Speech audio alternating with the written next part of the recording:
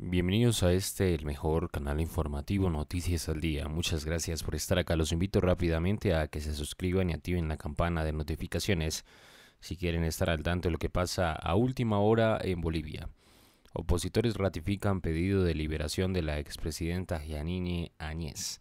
Las bancadas de oposición en la Cámara de Senadores, Comunidad Ciudadana y Creemos ratificaron el pedido de liberación de la expresidenta Áñez y su apoyo absoluto a la resolución del Parlamento Europeo.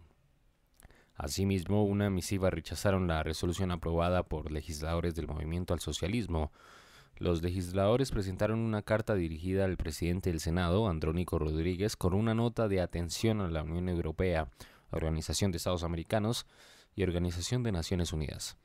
Manifestamos y dejamos constancia formal de nuestro rechazo absoluto y disidencia a resolución camaral que expresa críticas y observaciones por supuestos fines intervencionistas a las recientes actuaciones del Parlamento Europeo y de sus recomendaciones en relación a la crítica situación jurídica y política sobre aprehensiones ilegales y arbitrarias que se están ejecutando en Bolivia. Señala un punto del documento, la senadora de Creemos por Santa Cruz, Senta Rek, manifestó que resoluciones como la del Parlamento Europeo pusieron al gobierno de Luis Arce ante la mirada del mundo por las vulneraciones de los derechos humanos y atentados contra la democracia. Lo que tienen que hacer es buscar otro rumbo para Bolivia, restituir la democracia a una resolución demagógica no tapa a otra resolución fundamentada en la realidad, aseveró REC en contacto con la agencia de noticias. Asimismo, la jefa de bancada de Comunidad Ciudadana en el Senado, Andrea Barrientos, advirtió que ignorar la resolución del Parlamento Europeo tendrá consecuencias negativas para Bolivia en el contexto internacional. Barrientos lamentó que el gobierno del MAS reste importancia a observaciones del Parlamento Europeo, además de responder con actitudes beligerantes por imponer la idea de un supuesto golpe de Estado. En la misiva de opositores realzan que la participación de organismos internacionales tiene la finalidad de preservar la protección y garantía de los derechos fundamentales. El Parlamento Europeo demandó la liberación de los detenidos y el retiro de los cargos por motivos políticos contra ellos. El 28 de abril, en su sesión de Bruselas, demandó un marco de justicia transparente e imparcial, sin presiones políticas, instando a autoridades bolivianas a que presten toda la asistencia médica necesaria para garantizar su bienestar.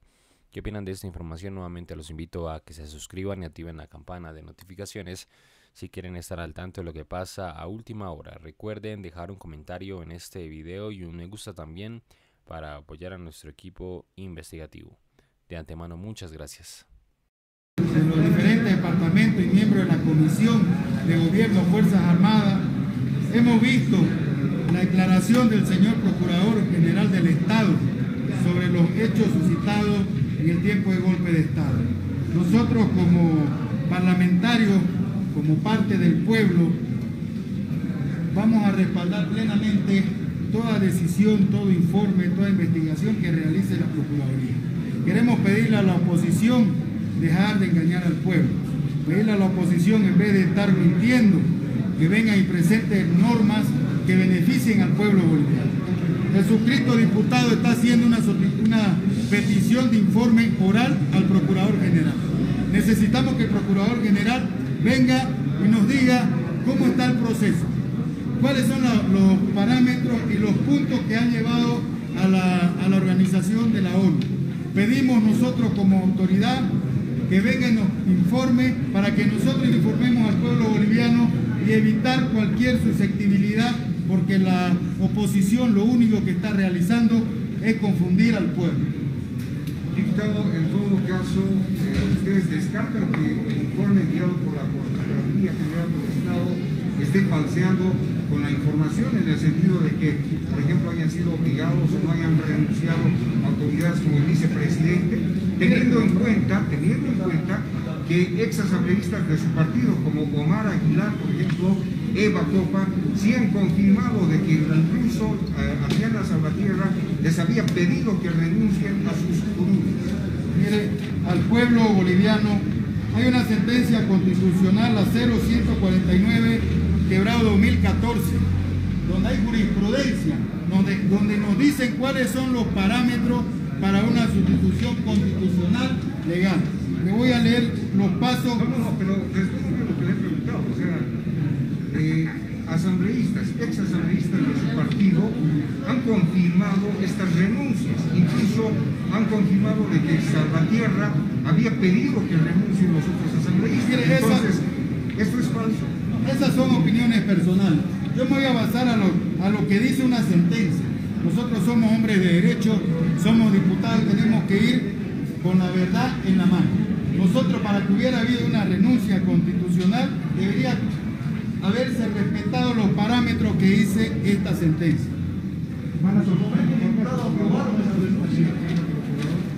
Hemos solicitado una petición de informe oral. Nosotros queremos que venga nuestro procurador y nos diga cómo están los pasos sobre la investigación del caso golpe de Estado.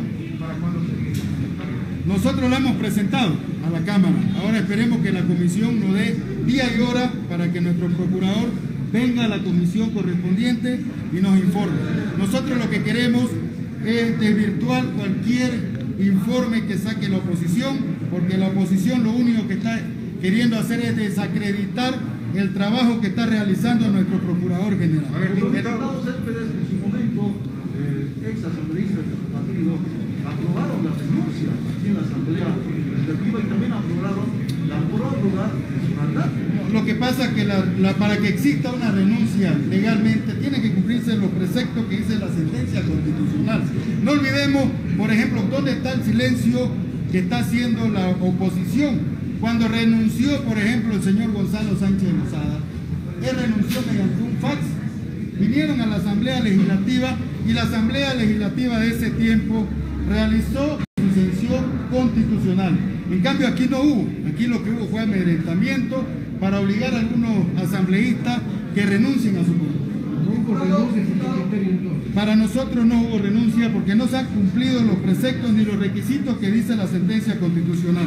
Esto está en el Tribunal Constitucional, señores. Nosotros nos basamos con las leyes en la mano, somos diputados serios, tenemos la verdad en la mano. pero ¿Qué fue lo que aprobaron entonces la asamblea de los dos tercios del MAS, eh, diputado? Mire, nosotros estamos respaldando el informe que ha realizado nuestro Procurador General y lo estamos convocando para que nos dé más detalles. Queremos saber cuáles son las, los- la investigación correspondiente sobre el caso golpe de Estado. Diputado, si no hubo sucesión, usted dice, en la presidencia de la Copa y el presidente Mire, lo que sucedió en ese momento, es de acuerdo al informe que ha enviado nuestro Procurador General a la ONU, es que no se han cumplido los preceptos constitucionales que nos habla la sentencia constitucional 0149 de 2014. Pero ¿qué pasa con el Tribunal Constitucional que ha avalado la transición? que las investigaciones correspondientes nos digan. Por eso estamos convocando una petición de informe oral al Procurador General. Muchas gracias.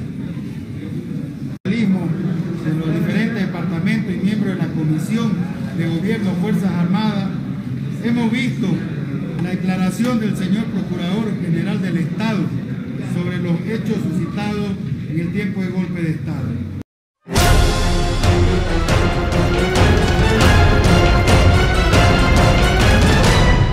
Si no te quieres perder de los últimos acontecimientos que pasan en el mundo, suscríbete y activa la campana. Somos Noticias al Día.